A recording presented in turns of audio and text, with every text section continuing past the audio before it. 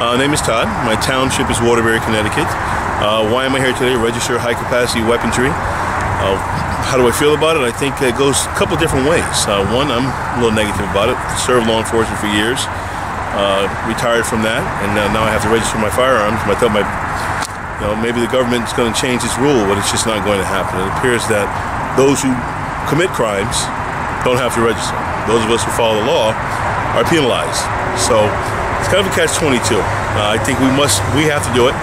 Hopefully, no one breaks into my house that's criminal because he's not going to have to worry about registering anything else the rest of his life.